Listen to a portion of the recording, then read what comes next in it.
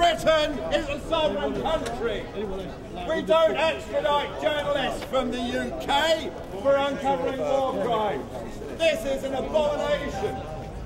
Well, I'm moving over here. United should- Kingdom. should cease Spanish, a journalist for telling the truth. embarrassment to the British United. Kingdom Please has stop. put in jail a journalist for telling the truth.